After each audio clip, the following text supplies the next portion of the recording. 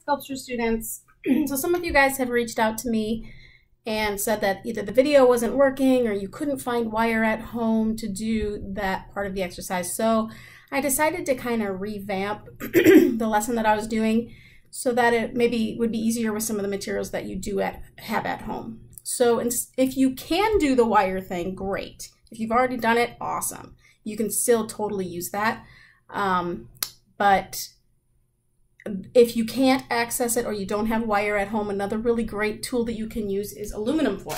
So if you have aluminum foil at home, then you can still make yourself an armature for your sculpture. So one of the lessons that we do, in case you couldn't see the video before, is a uh, figure um, sculpture. And the reason we do that is because we want to talk about human proportion. So there is an artist named Alberto Giacometti, and I'm going to link a couple of videos so that you can see some of his artwork along with this. And he um, focused on movement and humans and trying to put humans into some positions that uh, were far more interesting than somebody just standing there doing something. So when you create your sculpture, sorry, I apologize for the, I just got an email. Um, when you, and there's a work email um, when you um, focus on that movement and try to create this sculpture of, of this person doing something you'll have the opportunity to add props and um, possibly color. Uh, giacometti did mostly metal sculptures so his were not colorful but you are welcome to add that to it. And um, sort of try to tell the story of what's happening with this person okay so when we're talking about basic human proportion, we're talking about adult proportion. And again, this is kind of a generalization. This doesn't fit for every person, but I would I think it's something like 87% of the population or something. This this is a standard that is used, especially in the artistic world. So all the measurements of a body come off of the head. so however tall my head is here, that's how tall my body is going to be. It's going to determine how big my body is. So if you have a gigantic head, generally speaking, you're going to have a bigger body. If you have a very tiny head, you're going to have a smaller body. Now, those are adult proportions.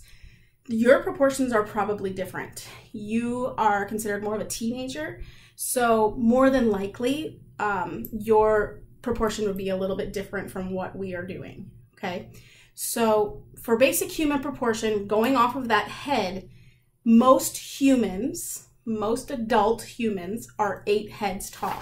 I'm going to show you this handy little diagram that I have here. Normally, at the beginning of the class, I would give you a sketchbook and you would have one of these in there. But if you don't, you can at least reference back to this one. I'm sure that you can find diagrams online as well. That will help you if that if you need that. Um, so here I have a head that is about the size of my thumb pad. That's kind of the size that I go off of just because I don't want this sculpture to be gigantic. Um, and then I have marked eight sections. So right at the bottom of the fourth section, halfway down the body, is the hip. That's the halfway point of the body. So this distance matches this distance, okay? The knee is, we're at two and two here, okay? Just kind of a basic reference. The hips are about the same size as the shoulders. Um, now the arms. A lot of people end up doing the arms like way, way too long. Um, most people are actually rectangles, that if you put your arms straight out like this, from the tip of your middle finger to the tip of your middle finger is the same distance from the top of your head to your feet. And a lot of people don't believe me on that. And since you're teenagers, the percentage of that happening is, is less.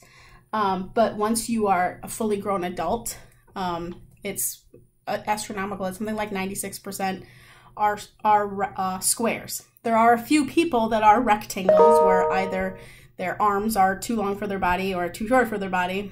Um, and that just happens. That's just a genetic thing. But it's some ridiculous amount of people are squares. So, um, based off of that, from sternum, so from the spine to that tip of the middle finger, would be the same distance as the top of the head to the hips. That doesn't mean your arms are going to be that two heads. It means it's going to be two heads from here. Okay, so when we're measuring that out with our tinfoil to make this, this armature, then um, you want to consider that. as well. That the fact that you have this, this mass here that needs to be accounted for, okay? So I'm gonna start by just taking a piece of tinfoil and I tend to work better with strips of tinfoil. I don't like this large piece. So usually I'll break it into like thirds. So I have a section that's about this long.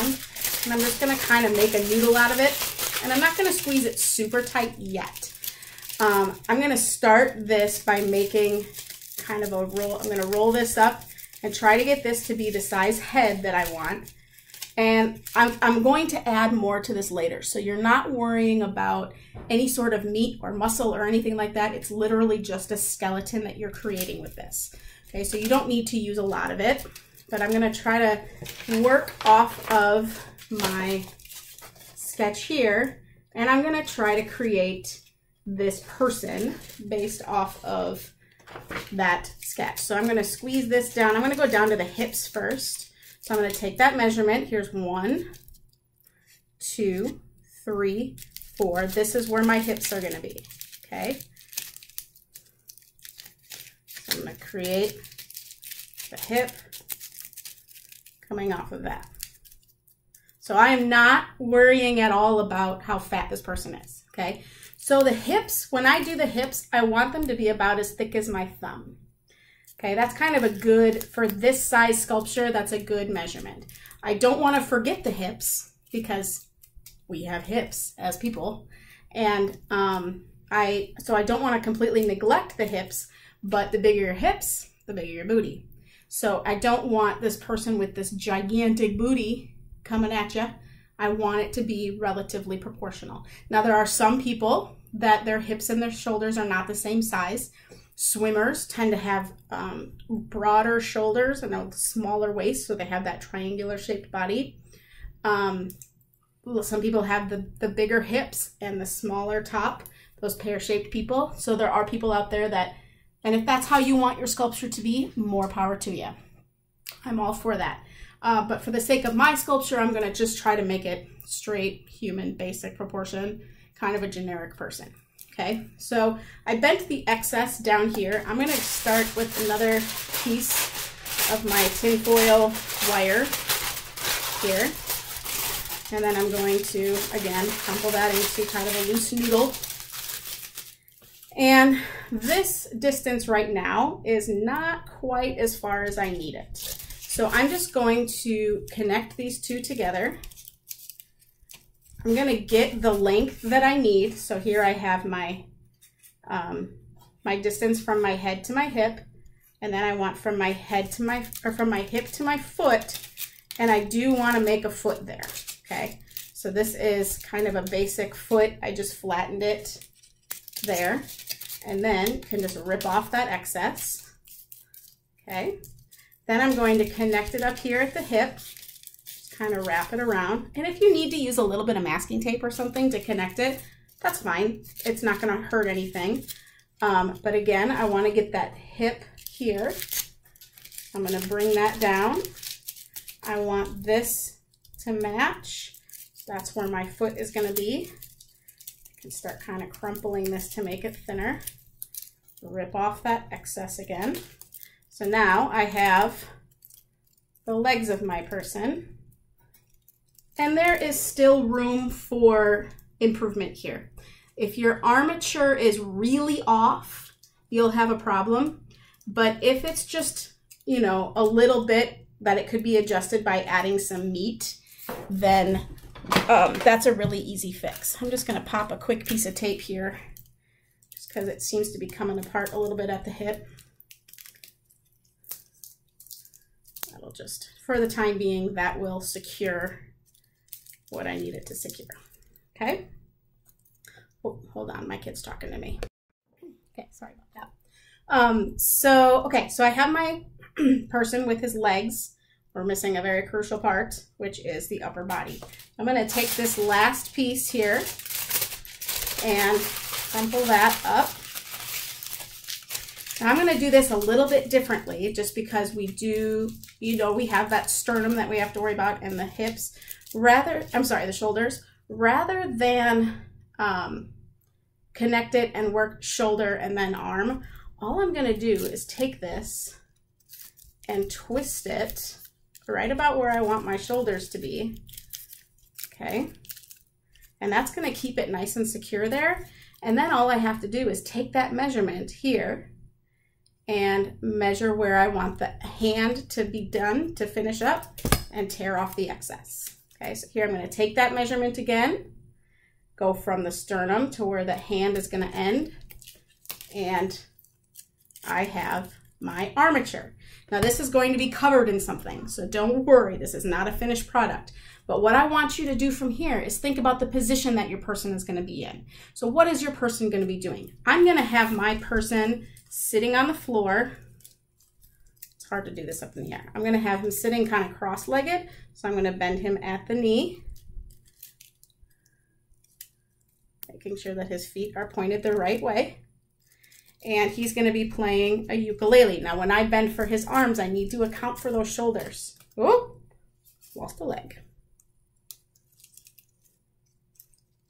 Nothing to see, nothing to see. Everything's totally fine. Uh, so I have his legs crossed, and I'm going to have him, I'm going to just bend this down here while I'm, while I've got it down here, and I'll show you the finished product.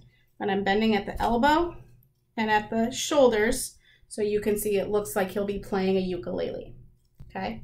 So once you have this, set it aside, and then next week I'll show you the next video where we start adding some of the meat to it and start, of, start kind of making him more of a person. Now, if you want your person to stand up, that's totally okay. He will not stand on his own yet. We will work on trying to get him to stand up on his own in the course of the next few classes. Okay, so let me know if you have questions. Send me pictures of what you're doing. I love to see it. Um, and I can offer you suggestions on, on things that you're missing. But at the end of this video, hopefully you will have some sort of person. If you did yours out of wire, again, that's totally fine. That's great. If you couldn't do it out of wire and you did it out of tinfoil, totally fine. Okay? All right. Nice seeing you. Thank you.